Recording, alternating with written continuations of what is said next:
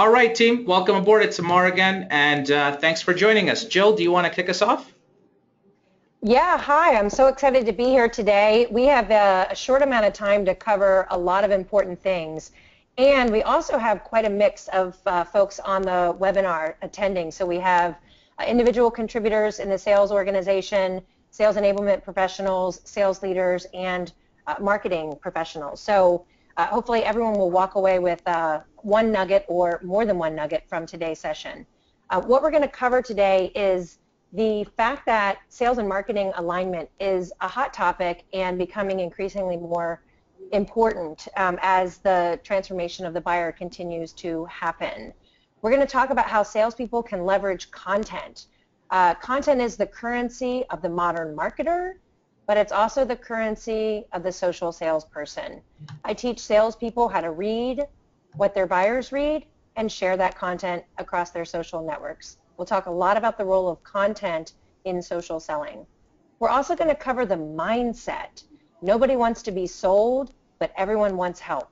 And the mindset of the modern sales professional is one who helps her buyer, helps her buyer not just buy, but helps her buyer solve her business problem reach her business objectives. So that mindset of helping and not always be closing, always be selling, selly, selly. The skill set. Your buyers are digital and social. Your salespeople need to be too. Networking via the social web is a whole different animal than networking face-to-face. And then the required toolkit. There's a lot of tools out there to help with amplifying uh, social selling and accelerating adoption of social selling, but a fool with a tool is still a fool. So don't start with the don't start with the tool. Applying old school tactics to new school channels will not produce the result that you're looking for. So we'll talk about the mindset, the skill set, and the toolkit required. So why are we here? What what has what has changed in uh, in, in, in the world that we're having to actually talk about transformation in sales? The buyer. The buyer has changed more in the past 10 years than in the past 100. The modern buyer, she's digitally driven. 92% of B2B buyers start their search on the web, and 67% of the buying process is being done digitally. Salespeople are being replaced by search engines and social networks, specifically and particularly in the early stage of the buyer's journey. The modern buyer is socially connected. We've never had more access to each other than we have today via platforms and networks like LinkedIn, Twitter, Facebook. There are no geographic boundaries in social, and social never sleeps on 24-7. We're mobile with multiple devices. I sit here with my Mac, my iPhone, my iPad. I have multiple devices. I always have access to not only information, but to people. And that means the modern buyer is empowered. But with all of this, we can't forget that the modern buyer is also overwhelmed with distractions and interruptions. Um, and so we have to remember that this buyer is empowered, but also overwhelmed. And how do we actually help the buyer so let's move forward to the next slide. Here's the thing. The lines between marketing and sales are blurring.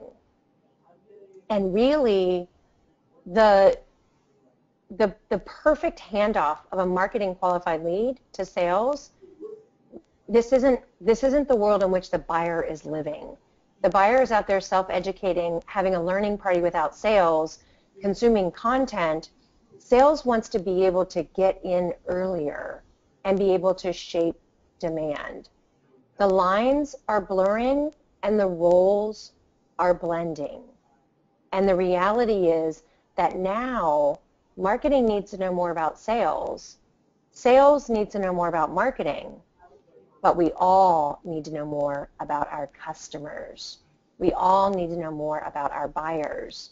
And if there's one hashtag to summarize what the power of social networks give to sales professionals is hashtag know thy buyer. It's not just who you know, it's what you know about who you know. And social networks provide so much information and insight about a buyer, about their needs, about their identity, about their relationships, about their interests. Social networks provide that information about your buyers. Know thy buyer. We'll move forward. So Jill, let's actually, yeah, let's go. Yeah, Amar, please. So folks, we're going to launch a poll question on your screen right now, and I'm actually driving the machine, so if you see my mouse moving around, apologies in advance. But uh, here's the first poll question launching on your screen right now. Where is your organization on the path to social selling? So you should see that on your screen right now. We're going to give you about a minute to answer. But Jill, let's talk about, while folks are answering, let's talk about where you feel organizations are today with social. Yeah, I mean, I basically, Amar, every day, all day, I get to consume content about social selling. I get to read the research reports from the analysts like Forrester, SiriusDecisions, CEB, Aberdeen, IDC. So I get to consume all of the content from the Smarty Pants analysts. I also get to read ebooks and white papers and infographics. I get to attend webinars. I get to listen to podcasts. Um, I get to actually speak with companies that are on the journey. Um, and, and, and from all of this, uh, we're early days. We are still early days in social selling, in particular from looking at it from a corporate initiative and looking at it from a cross-functional initiative of looking at, okay, we've got to bring sales, marketing, sales enablement, sales training together to to really tackle the mindset, the skill set, and the toolkit of a social selling organization. Really well said. And and Jill, I've closed the poll, folks. So thanks for participating. Let's look at the answers on your screen right now. So it, it pleases me because if this was 12 months ago, this middle category of 53% of you saying that some of your sales reps are dabbling in social, this is massive.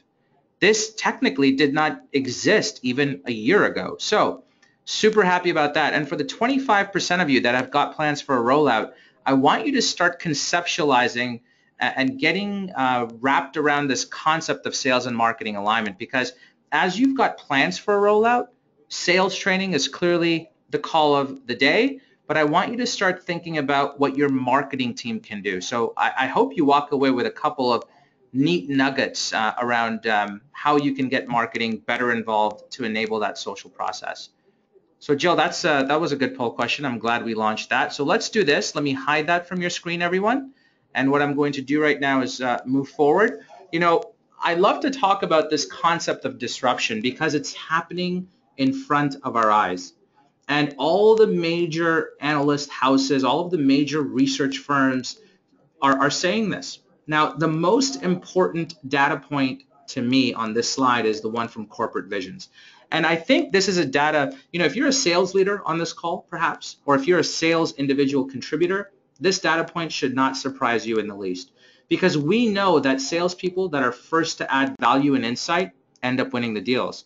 This study proves that, that it happens three out of four times.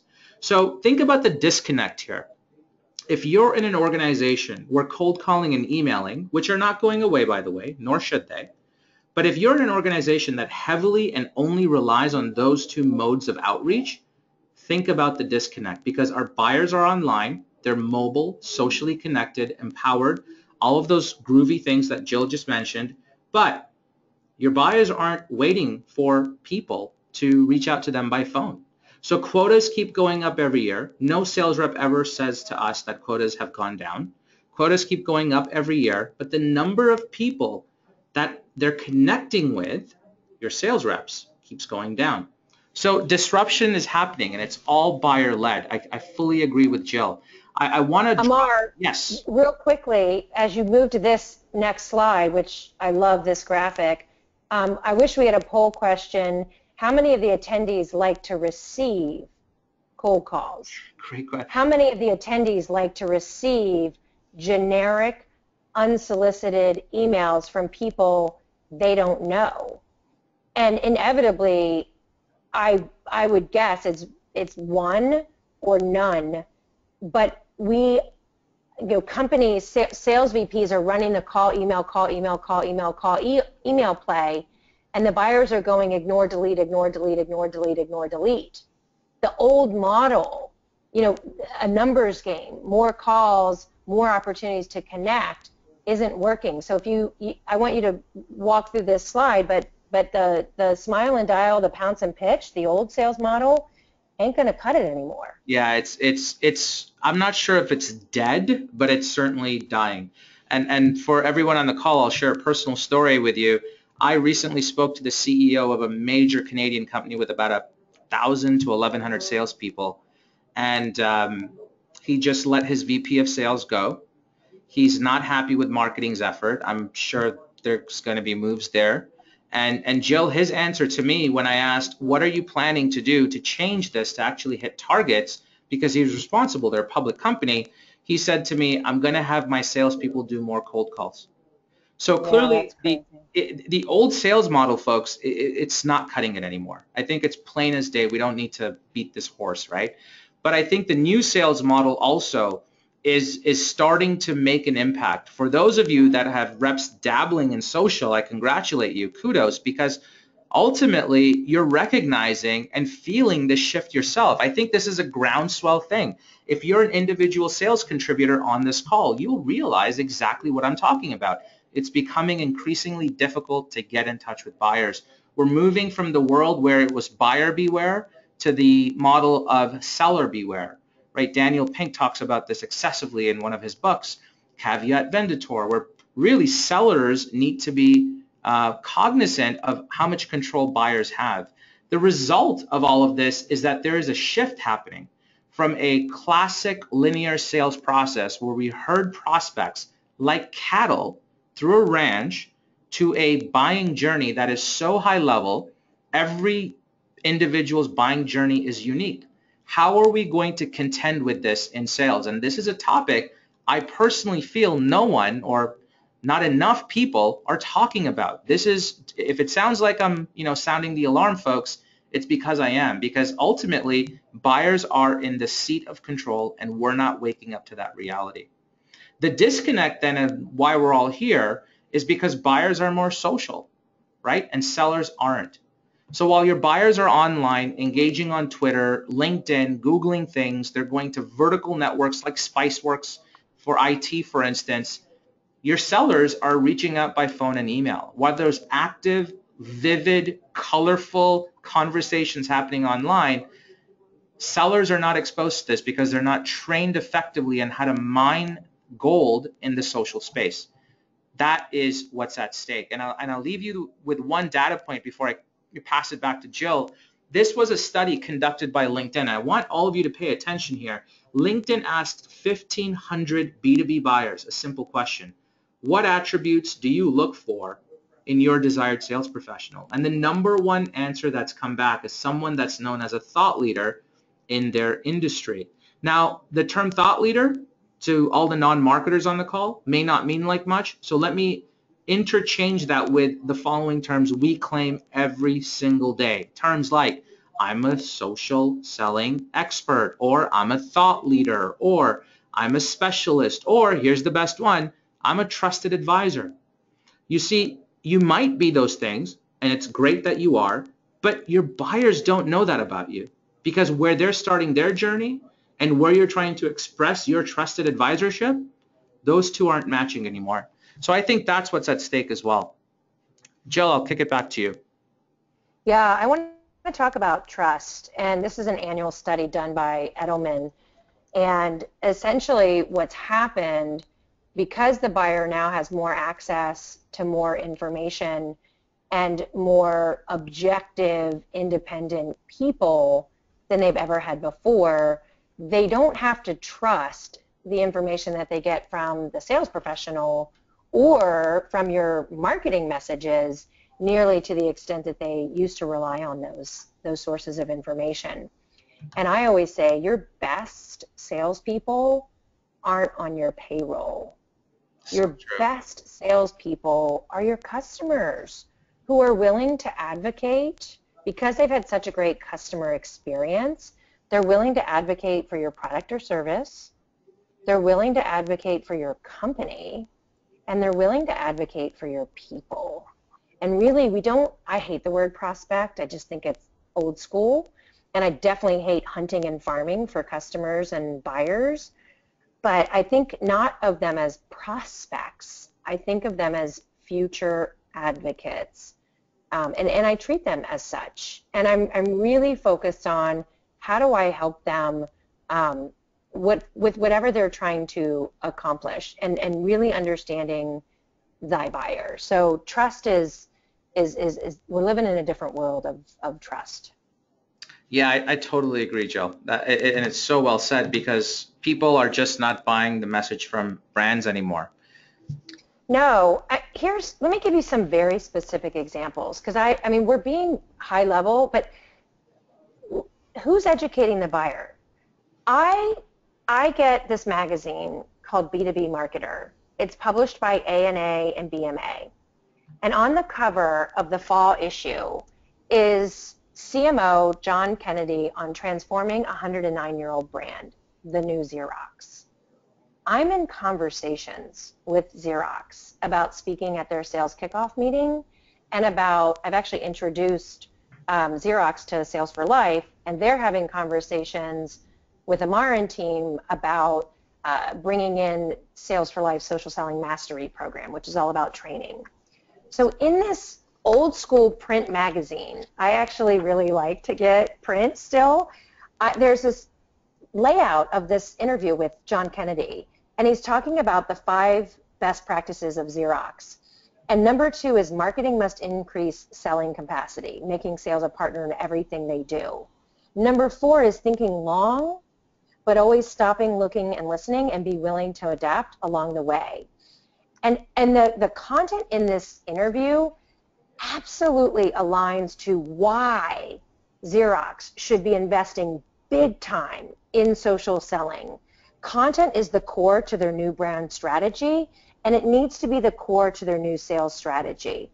And so I read this article, and then I share the article via my social networks, tagging John Kennedy, the CMO of Xerox, and other people at Xerox who I'm in conversation with.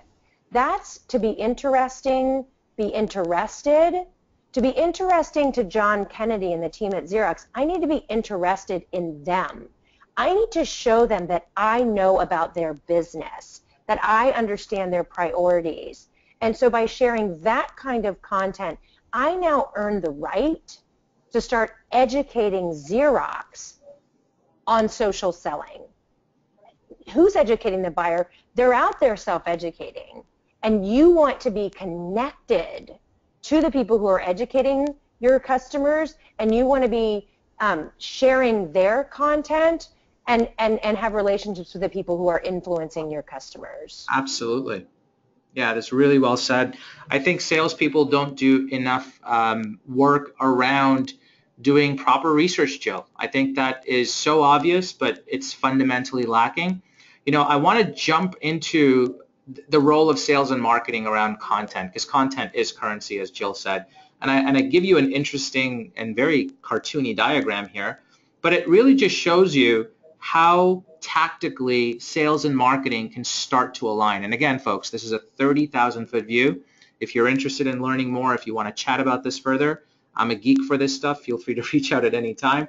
But this is you know, this is sales for life, actually. This is our model. This is us creating the Insights Factory. For those of you that follow us, you might have noticed how much content we put out. Well, imagine this is me on the left-hand side, this little gray person here in sales, and the right person here on the right is our marketing folks, right? Now, what I'm doing in the sales capacity is I'm bringing buyer feedback, valuable buyer feedback to the fore. I'm sharing that IP into marketing Marketing is then using that to generate powerful insights, research, analysis, etc. And then we're sharing that back into the market through insight distribution. And this feedback loop is so simple, yet it's incredible to see that this simple act is not done at most companies. Now, again, this is a 30,000 foot view. There's many creative ways of doing this, but this is uh, this gives you a picture as to how you can get started with sales and marketing insights.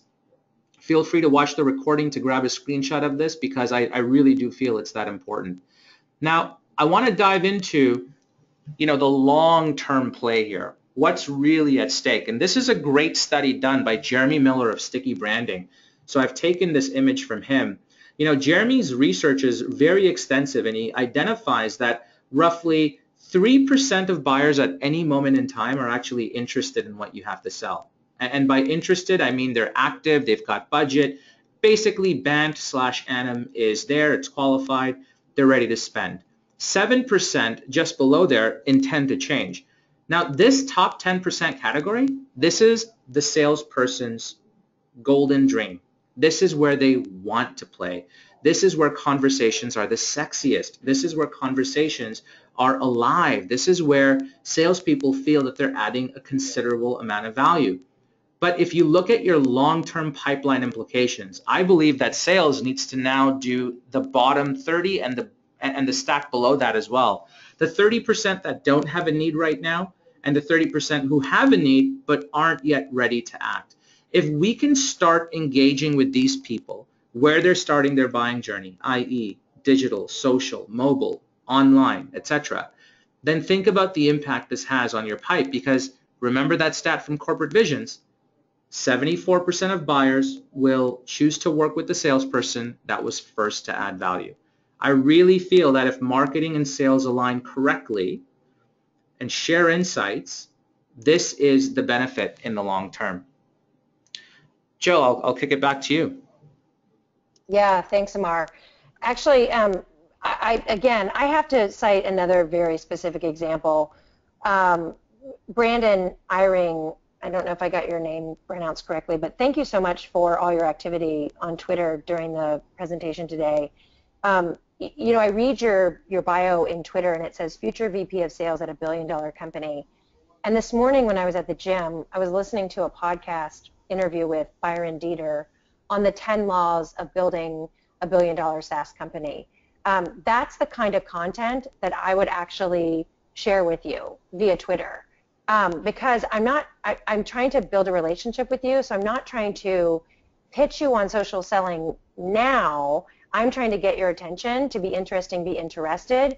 And if you want to build a billion dollar company, I just listened to a brilliant podcast on how to build a billion dollar company. Um, so that's that's what I'm trying to get sales professionals and marketers to think about is is the content um, yes and, and if we move forward in the slide deck the, the focus areas for modern marketers yes i totally agree with leading with the buying journey um, the buyer's journey the customer journey and understanding where the buyer is in the buying process in, in fact um, you know mar we were talking about sales for life's content and you guys do a, an incredible job creating content on the why do companies need to invest in social selling? So, so getting their attention, understanding the shifts. But where, where I think Sales for Life, I've been counseling you guys to create more content is around why training, right? You're a training company. So why do you need to train your salespeople and why do you need a blended learning environment? So why training, why training from Sales for Life? That's the, that's the whole buyer's journey and, and aligning content to not only the journey but the but the role. So again, I'll state we have many different people on the call, sales sales frontline salespeople who are actually you know have their revenue number. We've got sales leaders who own the roll-up number and have to think more broadly about the whole team and the cultural differences and the age and demographic differences and the territory differences. We've got sales enablement people, sales training and marketing. So the buyer persona also. So content that is aligned to the buyer's journey, the buyer persona, but then content that is just darn right helpful and interesting to the specific individual with whom you're trying to build a relationship with. Absolutely. We're running out of time, so I'd like to move to the next slide. Empowering sales with insights. Uh, you know, I spent 10 years at Eloqua as an individual quota-carrying sales rep. I have the benefit that my buyer was marketing, hence why I know a ton about modern B2B marketing because I knew my buyer. Hashtag know thy buyer um, what I what I got from um, using tools and technology, I was able to get insight into my buyer's digital body language. I was able to see what content they were consuming, what ebooks they were downloading, what webinars they were attending. I was able to get insight into my buyers' interests and activities, emails that they were opening, clicking through. Apologies for the dog in the background. Um, I was able to get insight, not just into the content consumption, but also to the social activity. Um, so I, I highly in, in encourage anyone who's invested in marketing automation, take a look at what sales enablement tools are available as an add-on to that, because there's there's probably a ton of functionality in your marketing automation system that you're not leveraging to provide sales the insight that, that they need to know who to call, when to call them, and what to say based on their digital body language, based on their content consumption story. Yeah, and that content consumption story today is, I think, it, it's liquid gold. It is, and and and the the the knowing.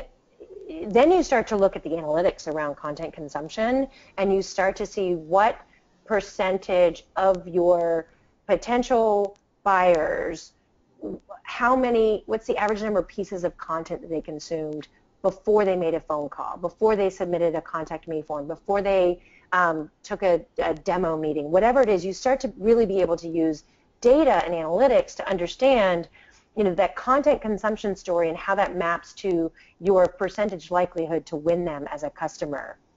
In terms of content creation, um, I'm all about you know, marketing, producing buyer-centric uh, content, content that is edutaining, that is visually appealing, that is shareable. So guess what? Nobody wants to share your product data sheet on Twitter. It's not going to happen.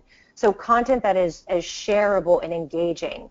When marketing is creating this content, having the input from sales on what they need based on getting buyers to the next stage in the buying journey, that's a really critical component of creating this content not in a vacuum but with collaboration from sales. What kind of content does sales need to get buyers further through their buying journey? Don't create content in a vacuum. And I, I want to make sure I, I'm not a real advocate of sales creating own original content. That's not usually their, their core skill set. But I'm a huge fan in sales uh, using curated content, other people's content, um, thought leader, third party, uh, analyst content, sharing other people's content to, to, to fuel their, their social sharing. Absolutely. And Jill, just one last point on that. The ability for a salesperson, if you're on this call and you're in sales as an individual contributor, you might be a sales leader, if you're wondering for the core reason why you need to do this, aside from, of course, you know, being interesting and being interested, it's because every time you share content, it generates engagement. That engagement is essentially qualification. You've, when you share a piece of content and you say, I love basketball, do you? And five people like it, you don't need to wonder how many of your 1,000 LinkedIn connections may have an interest in basketball. They've clearly expressed it. This gives you insights into reaching out, having much more targeted, relevant, and contextual conversations. So you're not just reading, you know, reaching out blindly with standard cookie cutter email templates or cold call templates that you may use on scripts. This is now about making the conversation about the buyer. Uh, I'm just going to go forward here. Let's talk about and let's wrap up with, you know, what's at stake? Why should we be doing all of this? And I really believe that this is about, and folks, keep in mind, I'm going to say something controversial here. So let me launch this on screen right now. You know, here's what's at stake. This is John Chambers, of course, the outgoing CEO of Cisco, a legend in the business industry. And, and Mr. Chambers stood in front of 25,000 people at his July partner conference and said to them that 40% of you will not be around in 10 years. And the reason is because you are fearing embracing digital. Because the buyer's digital, we must change. So I really believe that status quo and the way we keep doing things is going to have to change. And folks, if you need an example, look at the Dow Jones. Look at the top 30 stocks that comprise the Dow Jones index, and then look at that list 10 years ago, 20 years ago, and 30 years ago. It will be radically different because the companies that refused to disrupt themselves got disrupted out of the market. So I leave you with that. I really think that status quo is your worst enemy. So that br brings us to a close. I want to wrap up with one more poll question. So here's what I'm going to do. I'm going to launch that poll question on your screen right now. And we'd just like to know which of the following best describes your reaction after watching this presentation. Of course, we strive to bring you great content, timely content, content that inspires you and motivates you to act. So take some time. This is essentially, you know, an entire feedback form in one question. So take your time, please answer that, and then we'll wrap up. And for those of you um, and, and your peers and your colleagues and friends that couldn't attend, don't forget this is being recorded and the recording will be sent out uh, very soon. So look out for that as well. Yeah, Amar, I'll just state too while people are responding. We went really quickly, 33 minutes. Um, we, we barely scratched the surface, right? So there is so much that uh, needs to be covered as it relates to social selling, from an individual contributor perspective, from a sales enablement and sales training perspective, from a sales leadership perspective, from a marketing perspective, even from a hiring perspective, from a recruiting and hiring the, the, the modern sales professional. Um, so there's, there's lots more to learn. Um, we tried to, to hit the points around aligning sales and marketing to, with, for, and around the customer, hashtag know thy buyer, and being able to use social networks to learn more about your buyers. And folks, I'm sharing the results with you. 2% of you had some oh no moments, which is good. I'm glad you were not uh, being honest with me. No, I'm just kidding. Uh, but 83% of you, thank you for walking away with some tangible ideas. You know, use Jill and I as resources. Of course, you know what we do and how we think about this topic. There is our Twitter handle. Reach out on Twitter, reach out on LinkedIn, send invites. Let's get connected. Remember, social selling is here. It's not going away, much to the dismay of many old school folks, the traditionalists I call them. It's here. So thanks again for your time, folks. I hope you enjoyed that. Jill, thanks again for joining. Yeah, absolutely, Mara. Just, you know, again, know thy buyer, um, be visible and relevant to your buyer. And if your buyer's in social, your salespeople need to be there too. Thanks, folks. Have a great day. Take care.